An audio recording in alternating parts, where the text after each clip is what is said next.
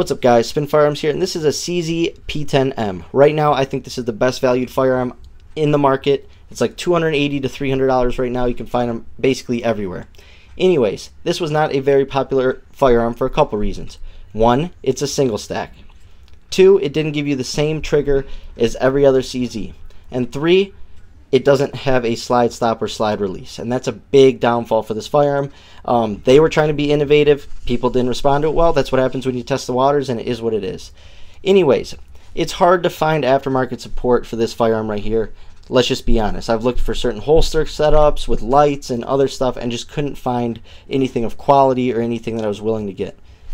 And now I'm actually shocked by this product right here. This is a Vedder outside the waistband holster. It's a paddle holster.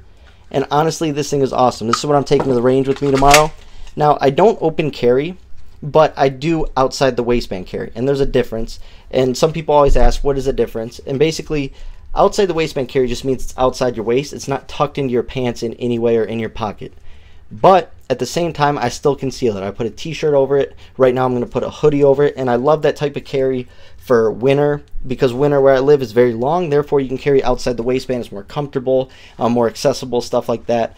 And just a great way to carry overall. It's very freeing feeling, to be honest with you. That's a big reason I like to do it. I never just have it out in the open because people can take it. But I love carrying outside the waistband. So I got this holster right here, and this is great. It is like a minimalist holster, right? It's very thin. It doesn't have anything extra. It is like a normal appendix size holster, right? It has a little padding slash grip on there, and I believe it is for a one and a half inch belt, as all my belts are that. Now it is a little adjustable, which is nice, but I like it in the exact configuration it's in right now. And honestly, this holster is awesome, and it's not going to break the bank. It has great retention, and look how clean that looks. It's like a minimalist outside the waistband holster, which you rarely ever see.